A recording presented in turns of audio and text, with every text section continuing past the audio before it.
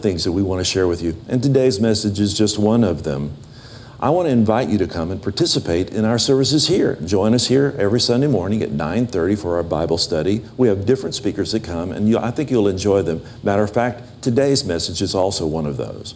I have a special message for you each and every Sunday morning at 10:30 right here at Crossroads, which meets at Theater 3, 2800 Routh Street in Howell, right here in Uptown Dallas. So if you have this Sunday off, come and visit with us, and let's go to the service right now. Okay. Uh, a dream is an expectation, isn't it? Yes. It's something that we that we would like to have happen. Yes. Isn't it? A dream, a vision, something that I want. It's something that I want to have happen. Absolutely. We're still talking about that, but we're going to put it in a different perspective. We're going to take a look at the life of Paul and the things that he expected to do. His dream today, only we're going to call it something else. Uh, here in verse 9, those things, Paul is saying, and I'm reading out of KJV this morning, those things which you have both learned and received and heard and seen in me, do. Well, what did they learn? Paul was talking about the practices of being a good Christian believer. He was talking about being a good servant to God, the practices. So he's talking about the things that were learned. We're talking about where he talks about received, receiving the blessings. How many of you want to receive the blessings? Well, you've seen other people, and if you get jealous that they have, you need to start asking for them and seeing them in your own life. Things that you've learned, that you've seen, heard. He preached the gospel to these folks. He never stopped. You know, we use the word epistle, and Keith just passed, what, what did you pass? What course was Old Testament or New Testament? Both. He just passed both Old Testament and New Testament with what, the highest grades? And I would expect that. He's been a student of mine all these years. No. He's been taking two courses. He's gone back to school, and I'm really proud of him. But uh, he, you did good on both those, aced both of those types, or made the highest grades. I think what you said. 98.4. I'm so sorry. What's wrong with the rest of that? Okay.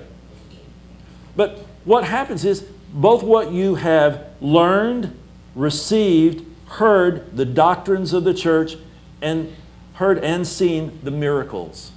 Paul was all about these four things. All about this. His whole life was wrapped up into these four things.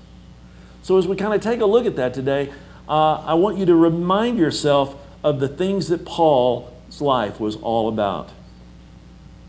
How many of you ever heard of a bucket list? What is a bucket list? Who can give me a definition? Things you want to do before you what? Kick the bucket. Kick the bucket. How many of you are going to kick the bucket? Can I see your hands? Unless Jesus comes back, what? we all will take the deep six, may most of us. So that bucket list is a dream of things that we want to do before we die. Isn't that pretty much? It's a dream of things. Because most of the time they're pretty outlandish, aren't they? Matter of fact, BMW, which I thought was interesting, uh, two years ago, three years ago coming up, it's uh, 2010, they asked a thousand people what their number one thing on their bucket list was, and they were looking for ad materials, what they were, they were driving at, when they actually got it. People said that they wanted to do something daring and really life changing. They wanted to really do something that was really way out there. Well, former Bush, Bush 41, did that. He jumped out of a plane, tandem, did skydiving on his 70th birthday, and then he did it again on his 80th birthday and 75. He did, said it three times. Jumped out of a plane. Now, I'm in planes too much to want to jump. it's a long way down there. And to give your trust into a parachute or another parachute and the guy that's pulling the cord, if you're going tandem like that, that's an awful lot. And for an older gentleman like that to do that and to be prepared and not to break anything on the way down, that's really a dream, isn't it? For most people. So a bucket list is about a, container of dreams that we want to do. How many of you saw the movie Bucket List? Yes, Jacoby. Thank you, Stephen. How many of you saw the movie Bucket List? Jack Nicholson and uh, Morgan Freeman? How many of you saw it? Okay. What was it about? Two guys dying with terminal cancer. They found each other and they had their bucket list and they were going about going and doing all of those things. August 17th, 2008, David Freeman, co author of the book 100 Things to Do Before You Die, who was the instigator of that movie, his life and his dream was given to that movie. At age 47, he fell in his house and died from an injury from that fall. 47 years old. He had a dream of doing 100 things before he died. And the, the irony of all of that, when you talk to his family, when his family were interviewed, they, he had done about half of all the things he ever wanted to do. In his whole life, at age 47, he's still way far away from all of that. His co-author, and I forget the guy's co-author name. I've got it down here. Some I, I, I didn't put it down, but his co-author made the statement uh, that inspired the book and the movie from that. Uh, some of the things that they put down. That this is one of the a couple of things that David Freeman put down. Uh, let's see. On his list before he died, uh, he wanted to go to the Academy Awards. He wanted to run with the Bulls in Spain. I think that would be pretty daring. I don't know that I'd want to do that. And one of the things was taking a voodoo pilgrimage to Haiti. But at 47, he didn't do any of those. And I, I, what I want that to drive a point home to you is, is that you don't know when you're going to do that. Take that last breath. You don't know if you're going to have a fall today and hurt your head and collapse on the floor, you don't know when you get out of here and you get on 635 with all that construction that an 18 wheeler isn't going to come rolling over you. You don't have a clue. We are not promised, the Bible says, we are not promised tomorrow. All we have is today. And Paul lived his life like every day was his last. He went about doing those four things all the time because they were important to him. They were very important to him. So what I want you to do is now I want you to turn over with me to 2 Corinthians chapter 11. I thought what was interesting about the 100 things on the list, none of them, not one of them had anything to do about preparing for your last day and your next breath in heaven. Not one of them. Not one of them was about eternity. Not one of them was about meeting your Maker, meeting Jesus hand in hand. None of it. All of that was about what I want to do here. None of it was about preparation for the hereafter. I thought, how disappointing. You think about everything that you want to do in life, but you forget about the one thing is you are never going to die. This body will, but what makes you you is going to go on forever. I'm planning for that.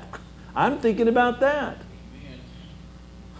Because that's a whole lot more than the 47 years that he got. Or if we all get to be 120 or 140, it's still not going to be long enough. So I want you to be thinking what's in your bucket list. Because what we're going to do, we're going to pick up the life of Paul here in just a moment. We're going to pick it up at Acts 20. We're not turning there yet because we're in 2 Corinthians. But we're going to pick this, his life up at about 58 AD. And we're going to take a look at some of the things that he said that he wanted to do. But I want to temper that with the things that we know that he did while he was alive. So here in 2 Corinthians, I want us to start reading with verse, uh, chapter 11. Did I tell you that? Chapter 11. And I want us to start reading here on verse 23. Are they, and I'm, again, I'm reading from the KJV this morning. Are they ministers of Christ? I speak as a fool. I am more in laborer, labors, I am more in works, and more in abundant, and in stripes above measure, in prison more frequently, in deaths often, and of the Jews five times, five times, he was whipped, save one, 39 stripes.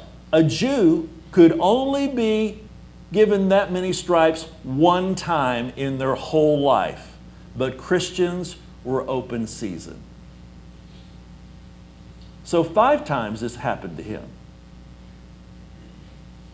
Thrice, three times, I was beaten with rods. I don't know if you know what that is, but they were put into shackles. Their feet were put into shackles, and the bottom of their feet were beaten with metal rods until the bones in the, in the feet were broken. They wanted to stop him from doing what he was doing.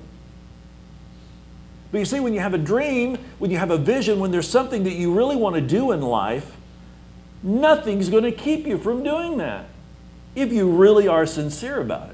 You know, if it's just something, well, I want to go to the Academy Awards, I can let that one go. I can see it on TV a whole lot better than what I could probably get a seat at. I was stoned once. Three times he suffered shipwreck. A night and a day have I been in the deep. He was floating in the ocean, hoping to get somewhere. In journeyings, he did several travels. We, we know of three journeys that he made, but he could not have started as many churches as he started in his life, over 260 churches. He couldn't have started all of those unless he'd gone to, on more trips, but we only have count of three of them. In perils of robbers, beaten, perils of my own countrymen, those people around him, perils of the heathen, those people on the outside, perils in the city, in the perils in the wilderness, and perils in the sea, perils among false brethren, in weariness and painness, painfulness, and in watchings often, in hunger and thirst, in fasting often, in cold and nakedness. I mean, this is too strange for fiction.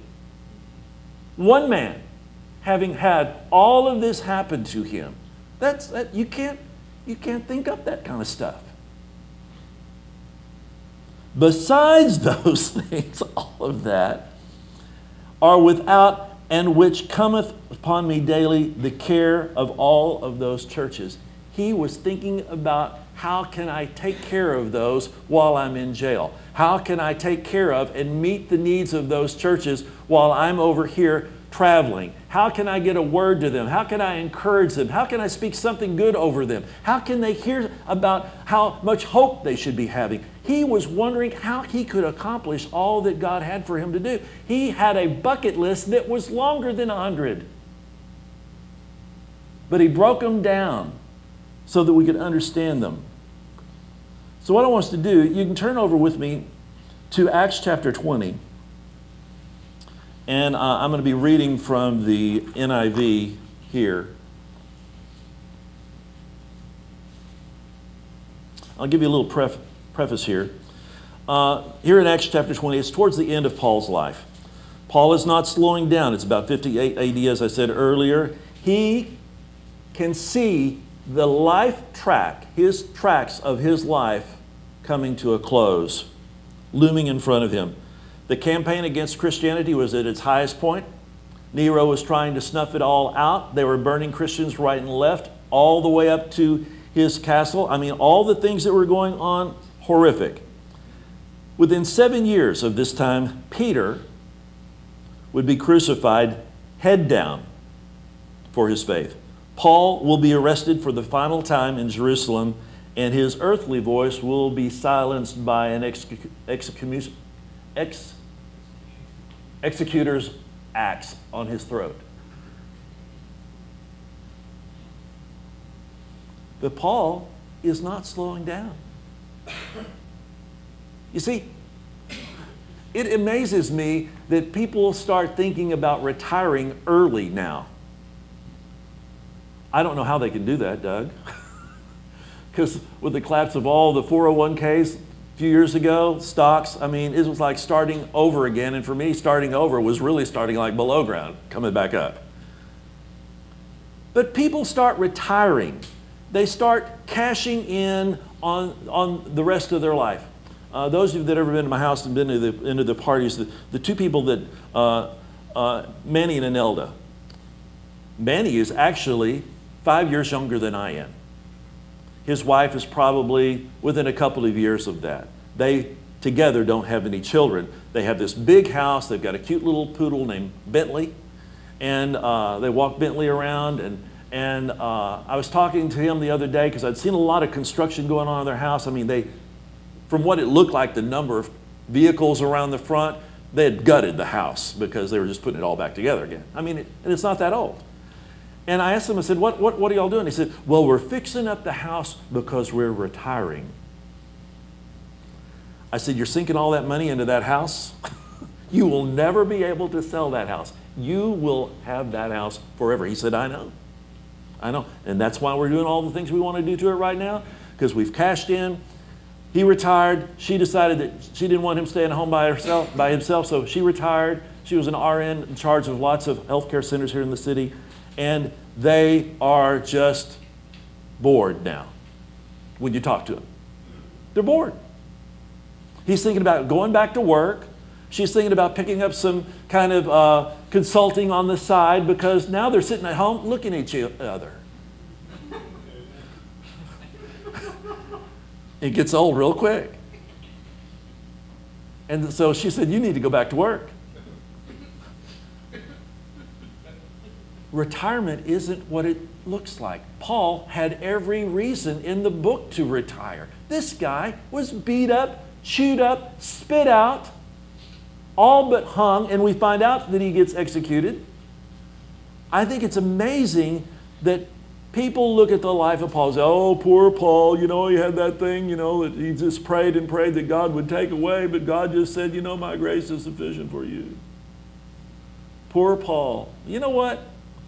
There should be more people like Paul who would be able to accomplish as much as he did in his life and still start all those churches with his feet busted up. I know some people that can't get up because they got a little twinge in their back. It's amazing. But Paul here sees the goal. The goal is the gospel of Jesus Christ. That is his bucket list. Is to get that word out to as many people as possible. That was his goal. His dream was how far can I get this thing while I'm still alive? And he does everything to try to accomplish that. So here in Acts chapter 20, we're going to read a little bit, just kind of give you what, a little bit what's going on. I think it's important. Uh, uh, I will tell you this that uh, verses uh, 1 through about 6, we're not going to go through. It's a bunch of people that are traveling with him. There's seven guys. It lists all of their names and where they're from. We don't need to read that. But they finally get to, uh, uh, to Troas, and they, they get there, and Paul is preaching in the house. And it's on verse 7. We'll start here. On the first day of the week, we came together to break bread. Paul spoke to the people, and because he intended to leave the next day, I think this is interesting, he kept talking until midnight. He's planning on leaving tomorrow, so what is he going to do? He's going to make sure he fills you up until you can't take anymore, and then he's going to put some more in. He's just preaching and preaching and preaching and preaching. I can appreciate that. There are many lamps in the upstairs room where the people were meeting. Seated in, seated in a window was a young man named uh, Eutychus who was sinking into a deep sleep as Paul talked on and on. As you read it in the NIV, I thought that was really good. When he was sound asleep, I mean, probably snoring, somebody probably did this to wake him up. They bumped him and he fell out of a three story window to his death. And they, when they went down to pick him up, he was dead. Paul went down, threw himself on the young man and put his arms around him. Don't be alarmed. He said, He's alive. Then he went upstairs again and broke bread and ate. After talking until daylight, didn't stop at midnight. He was interrupted. He had to start all over again, which Paul usually does several times. If he, and he closes several times. He really doesn't know how to say, see ya. he can't do that. He has to say goodbye to everyone, and then he, he, he leaves out a few people, so he starts saying goodbye again. I don't know, some of you have been to family reunions that are kind of like that. Went upstairs, broke bread. Then the people took the young man home alive and were greatly comforted. So everything is fine with him. We're going to get back to him in a moment. Let's start and go to verse 13. And they went ahead to the ship and sailed for Assos, where we were going to the, where uh, where we were going to take Paul abroad. He had made this arrangement because he was going to go there on foot. Now these people are traveling on the boat, and he's going on foot. And when he met us at Assos, we took him aboard and went to uh, Mitylene. And the next day we set sail, and there was arrived off of Chios. They're traveling, traveling. The day after we crossed over to Samos, and on the following day arrived in Miletus. Paul had decided to sail past Ephesus to avoid spending time in the province of Asia, for he was in a hurry to reach Jerusalem, if possible by the day of Pentecost. This guy is on the road. How many have ever traveled? How many have ever traveled? I mean, extensively. I have. And you know what? Traveling on air is hard, especially today with TSA. It's hard. There was no TSA. There were no planes, no buses, no cars. We're talking on foot and in little thimble sized boats going across oceans and seas. I mean, we're not talking first class here. We're not talking good food. We're not talking the cares of a turn down service in your bed at night. From Miletus, Paul sent to Ephesus for the elders of the church. And when they arrived, verse 17, they said to him, You know I have lived the whole time I was with you. From the first day I came into the province of Asia, I served the Lord with great humility and with tears. And in the midst of serving, uh, of severe testing by the plots of the Jewish opponents, you know that I have not hesitated to preach anything that would be helpful to you, but have taught you publicly and from house to house. I've declared to both Jews and Greeks that they must turn to God in repentance and have faith in our Lord Jesus 22. And now, compelled by the Spirit, I am going to Jerusalem, not knowing what will happen to me there. I only know that in every city, the Holy Spirit warns me that prison and hardships are facing me. This guy has already been told it's coming. You're going to have a bad time. Want to go on? Roll the dice. You don't know what you're going to get. But he did know that bad things were coming, and it didn't stop him. You see, I think when you have a dream, when you really want to do something, you're not limited by anything except your own mind. People aren't out there stopping you. They're going to try to dissuade you, but they're not physically stopping you from doing what you want to do. How many of you came out? Did you really want to do that? Did they help you out? No. You did it and you were out. And it was probably the most excruciating moment in your whole life. I know for me it was. But what I will tell you is the dream on the other side of that very difficult moment is worth that. Yesterday, Abigail, my youngest daughter, who's pregnant, we found out a few weeks ago, yay, yay, yeah, is going to have her first sonogram tomorrow. Happy for her because she's going to find out how the baby's doing and all that. She's really concerned because she's had some, had some uh, headaches, migraines, and I said, that's normal. You're on hormones until out the wazoo, taking them every day, making sure that the baby holds on. I said, that will be over. You're stopping that. The migraines will stop. You'll be fine. When, I can guarantee you, she really didn't have a clue what she's in for. Has no clue. She may have an idea because She's been around her sisters who have given birth, but she's never done that. Now, I was there when all four of my kids were born, and I'm so glad that I did not come equipped to do that. I am very glad because I don't know that I'd want to do that.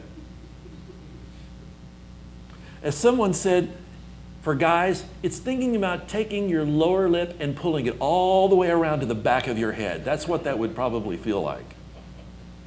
So when you think about that, but you know what? She is looking forward to it because there's something on the other side of that.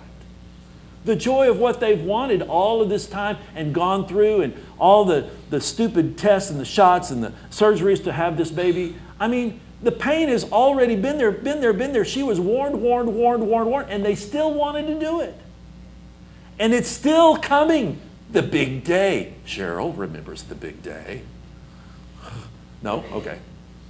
So what happened? No? Oh, I thought that was yours. Thank God for that other mother. We're praying for her still. Does she know what she's missing? Jacoby. you have to realize that there will be some challenges along the way to your dream. There's going to be challenges, uh, everything that you want to do in life, there will be met with challenge. Keith, you know you're going to graduate. You know you're going to get that new degree. You know you're going to do that, but there's a lot of hard work between now and then because your semesters are really tight and short, and there's a lot of work and learning that has to be done in a very short amount of time. And you have to give up a lot of stuff in order to do that. You have to give up a lot of other things and put your attention on the things that are really important. Because if you don't, you will get at 47 and not have half of the things that you want to do in your life really accomplished. And I'm far past that, that 47. I want to make sure that every day of my life it counts. So let's read on. Verse 22. Now, compelled by the Spirit, I'm going to Jerusalem. We read that. Uh, 24. Very important. If you've got a, a regular Bible, circle it if not, remember or write this scripture down. Very important because we're going to come back to it. However, I consider my life worth nothing to me. My only aim, everybody say only aim. Only My only aim is to finish the race and complete the task the Lord Jesus has given me the task of testifying to the good news of God's grace. That's all he ever wanted. That was his dream. The bucket list comes along the way to help meet all of the needs that you have all the way to reaching that goal. Verse 25 Now I know none of you, now I know that none of you among whom I am gone about preaching the kingdom will ever see me again. He's telling them, these folks, you will never see me again. He already knows he's going to die when he gets to Jerusalem. It's already, it's already there. He knows he's going to his own death, but he knows he's got to go to preach. He knows he's got to complete the race. He knows that he's got to go and give up his life. He knows he's got to be a testimony. He knows that his life, that will be the stamp of everything that he's ever done. Therefore, I declare to you today that I am innocent of the blood of any of you. He says, I have told you all. If you didn't get it this round, I don't know what's wrong with you because I have preached until some of you fell out the window. That's what he's saying. Therefore, 27, for I have not uh, hesitated to proclaim to you the whole will of God. Keep watch over yourselves and all the flock of which the Holy Spirit has made you overseers. Be shepherds of the church of God, which he brought you, he bought you with his own blood. I know that after I leave, savage wolves will come in among you and will not spare the flock. Even from your own number, men will rise and distort the truth in order to draw away disciples after them. So be on your guard. Remember that for three years I never stopped warning each of you day and night with tears. He was crying about it. You don't understand. This is what's going to happen. He's telling them. And I don't think that this is, you know, a self fulfilling prophecy. God already showed him that that's the life of mankind. That's the life of man. But Paul is not dissuaded by that.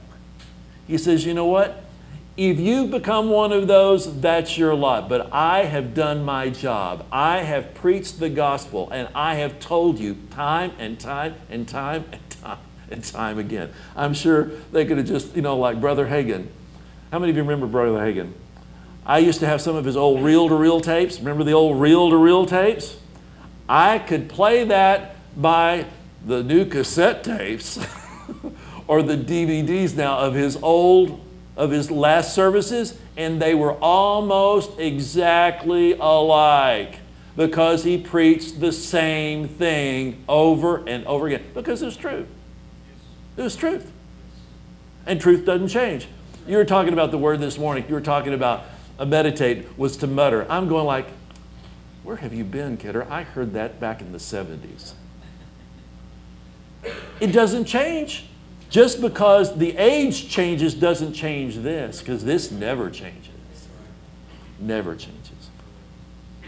Now I commit to you the, to God to the word of his grace, which can build you up and give you an inheritance among all those that are sanctified. I have not coveted anyone's silver or gold or clothing. You yourselves know that these hands of mine have supplied my own needs and the needs of my companions. He's taking care of everybody.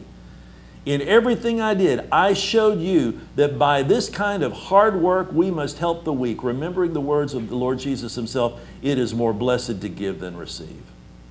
When Paul had finished speaking, he knelt down with them all and prayed. They all wept as they embraced him and kissed him. What grieved them most was his statement that they would never see his face again. Then they accompanied him to the ship. He's on his way. This is the last day that they would ever see him. This is a man who has a dream. And it's, been, it's about pleasing God and doing the things along the way that God wants him to do. So if you've got something to take notes, I'm going to give you a few things that are in his bucket list because it might be wise for all of us to pick up a few tips from somebody who had a whole lot more going on than what we may think. I'm going to use some words. Let's see, one, two, three, four, five, five things that I'm going to talk about that are in his bucket list out of what we just talked about, what we just read. First off, he was all about encouraging people. He was all about encouraging people. And the one thing I can tell you is our community needs to be encouraged. They are beat down on every side. On every side.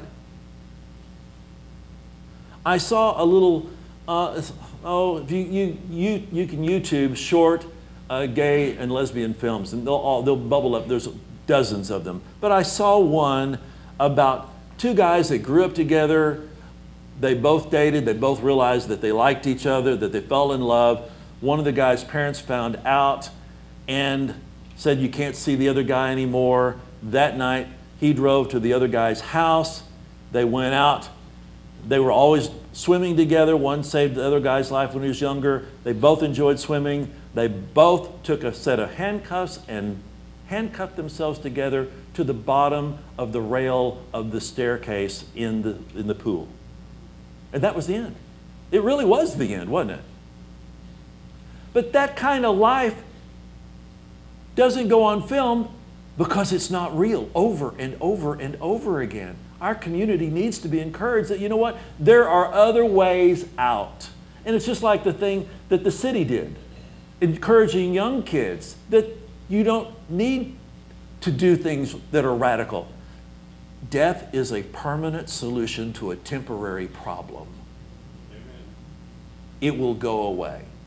What seems bad today, in the light of tomorrow, will be better. It always looks better. We think the world is coming to an end, but tomorrow it will look different. So we need to encourage people. In Acts chapter 20, you know, first off, it takes courage to do what we're doing. It takes courage to live a Christian life today. And we all need to be encouraged. You need to encourage each other. And that can't just always come from me, it's got to come from you to each other. Acts chapter 20, we talked about Eutychus falling out of the window. Three stories. There are times when some people need to be given a boot in order to avoid falling asleep on the job as others of Jesus have done. I'm going to tell you something in love. There is no reason this building should not be full. Not a reason. Not an, there is not a reason. There are enough gay Christians in this community that do not go to church. Amen. That do not go to church, Tim. You're right. That could be encouraged at your invitation to come. But see, we're falling down on our job. We're not doing the work. Oh, we're having a good time and we fellowship one with another. And that's great. And I think that's all important. And I applaud you for that because that really is a good thing. That builds each other up. But we got to take that strength and we got to apply it elsewhere. We've got to do something with that. You just can't pray that the community comes to God. You have to do something about it. Amen. Faith without works is what? just like that guy falling out of the window. You have to have a passion about it. Paul lived with a passion on this. So he encouraged those around him. He prayed for those around him. I want to read you a prayer. And this is a prayer that Tim and Kidder pray every day because I've heard it from them. And it's a prayer from Ephesians. And this is Paul's prayer for those around you and what you need to be praying around all of those people as well. Ephesians 4 14 through 21. For this reason, I kneel before the Father. What is that reason?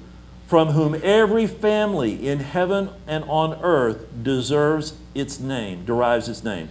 I pray that out of his glorious riches, which we just talked about, he may strengthen you with power through his Spirit in your inner being, so that Jesus Christ may dwell in your hearts through faith. And I pray that you, being rooted and established in love, may have power, together with all the Lord's people, to grasp how wide, how long, how high, and deep is the love of Christ. And to know this love that surpasses knowledge, that you may be filled to the measure of all the fullness of God. Now to Him who is able to immeasurably, everybody say immeasurably more than we ask or imagine or think, according to his power that works within us, to him be the glory in the church in Jesus Christ throughout all generations, forever and ever.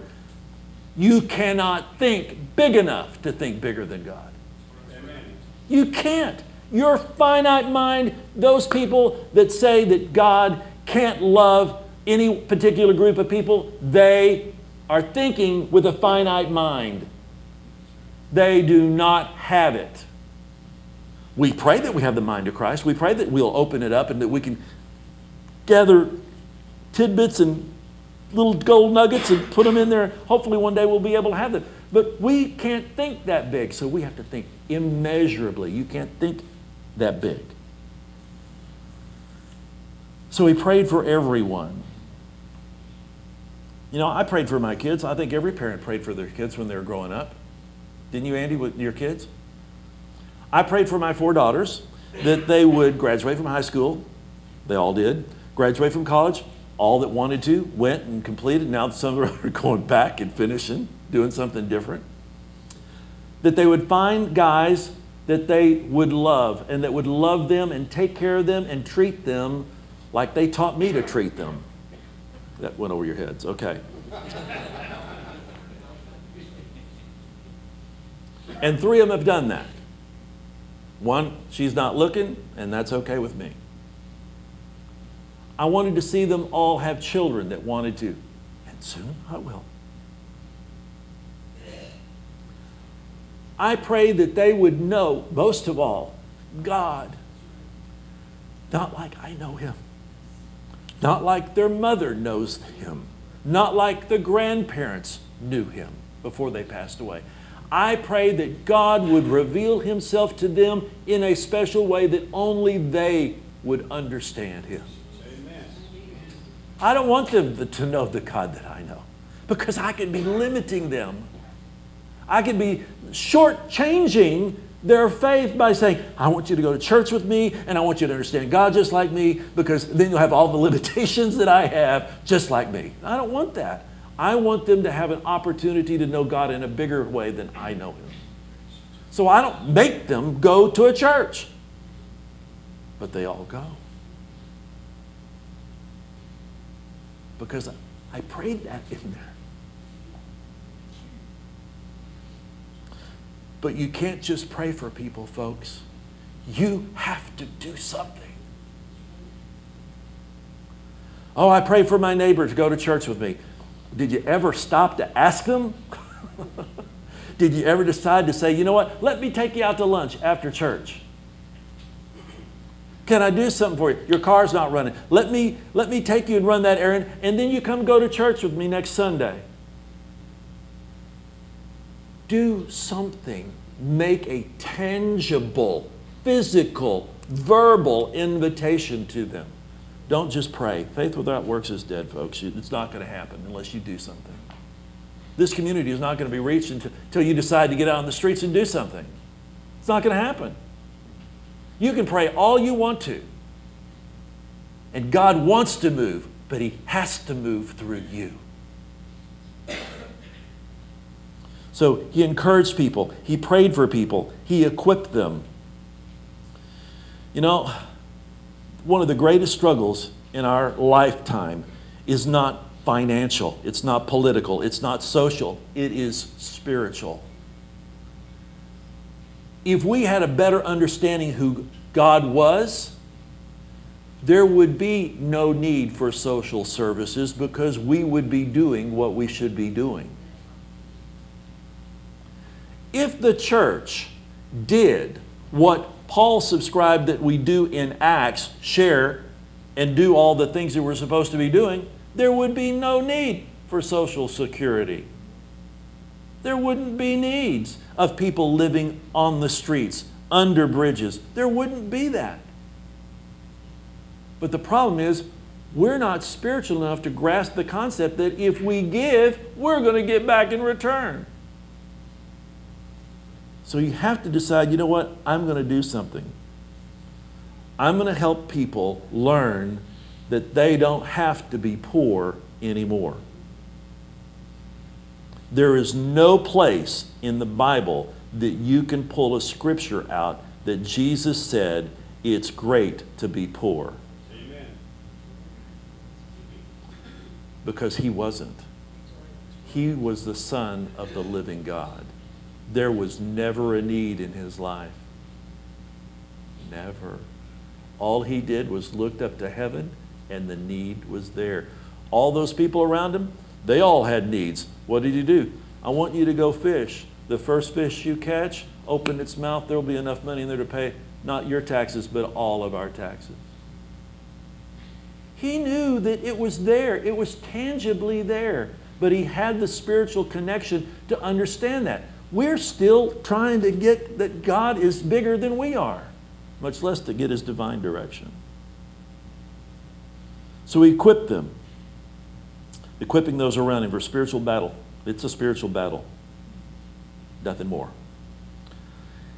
Knowing and using the Bible. You know, I think it's interesting that people talk about the Old Testament as if it's gone.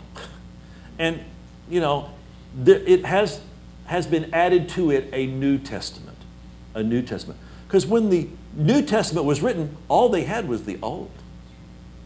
And Paul makes a statement that all Scripture is given for inspiration and doctrine. All Scripture is given. So we should learn something from everything.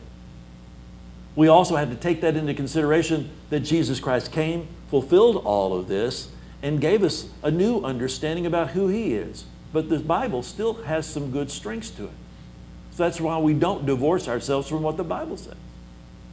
So you've got to teach people, because I put it out in a, in a, in a uh, Facebook thing this week. You shall know the, and the truth shall set you free. You know, faith comes by. All of those things you have got to teach other people. Because you know what? They're not going to learn it on their own. They may not have a Bible. They may not have a Bible app. You can get them that. They're free. Those Bibles now are free. There's no excuse for nobody to have, not have a Bible anymore. Knowing the Bible, he knew it. But you know what? You shall, I heard it misquoted by somebody in a movie yesterday. You know, the truth will set you free. The truth will set you free. The truth will set you free. The truth you know will set you free. But unless you get into this, you're not going to know this and you're not going to understand it. And so you have to get into the Word of God and you have to encourage other people to do the same thing because without it, they're all sunk. Preserving His witness was another one. Without a computer, without an iPhone, without a word processing unit. Paul wrote about his witness for Christ and wrote two thirds of the New Testament, mostly while he was in prison. Lots to do when you got time on your hands. He made use of every moment of his life. Nothing was going to waste. He was always about doing that list of things that set his dream apart from a lot of other people. He did it so that even after he was gone, his witness would continue. And it still does. So, in closing, I got some remarks that I wrote down. I want to just read them to you. What are you focusing on as you finish your race? As I said earlier, we're all running out of track. This train is going to ditch soon. But what are we focusing on between now and then? Some of us are going to have shorter length tracks than others. Hopefully not. But you know what? Dr. Brent died last year at what, 43? 42, 43? That's a short track. You don't know what that next moment is. That's the reason why you got to make every moment count. In the life, he said, those things which you've learned and seen and heard in me, do those things. Do those things. One day, all of our clocks are going to stop. Nobody gets a free pass. We're all going to die. What do you want to complete before your journey is done here? Culture says, our culture says, put more things in that bucket. Do more stuff before you die. Go to Paris, go to Rome, go to Moscow, go to St. Petersburg. Go, go, go, go. See it all. See the world. Experience it all. Don't leave anything untouched. But the Bible tells us our life is about what gets poured out of our life, not what put into it. You have something within you that those around you need. If Paul's list, what I talked about today, became our list, if we renewed our commitment to the gospel of Jesus Christ today, maybe no one would ever see our desires and make a movie out of it. You know, maybe not like a bucket list. Nobody might make a movie like that. But you know what? We could all know that we've been a part of the greatest story ever told.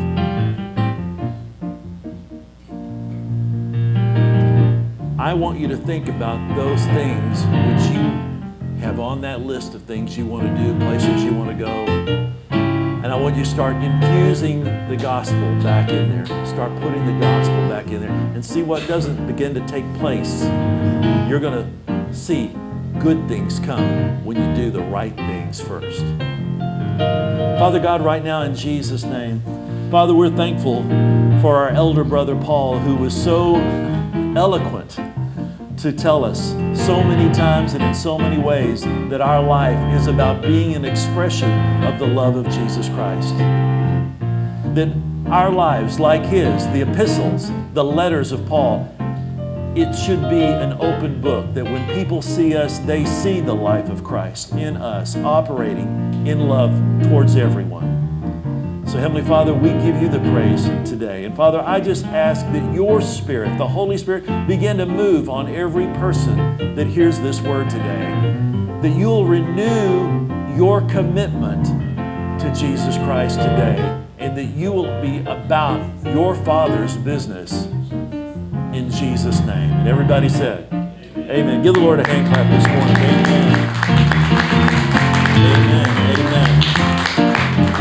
How many of you can be with us or would like to try doing something different on a Saturday night? How many of you would like to try to do that with us on this Saturday night? Meet us at Hunky's at what time? 7 o'clock. Where? Hunky's. What night? Saturday night. When? 7 o'clock. We will see you 7 o'clock this Saturday night, 26th of January. God bless you. Have a good week. Hi, and thank you for watching today's service. As I spoke to you at the beginning, we have a couple of outreaches which I think are important for you to know that we're participating in, and you might want to join us. We've got one, which is our orphanage in Uganda. It's 320 children, about, that have been left there because their parents have either died or are affected by HIV/AIDS. There are no relatives that will take them in because it's such a stigma to have HIV or even to be gay there in Uganda. We also have a church in Tegucigalpa, Honduras. It's just a starting work, but there is a lot that we can do to help them. And if you'd like to join and be a part of that, we invite you to go to our webpage, www.crossroadscommunitychurch.us, and you'll see a tab there that says donation.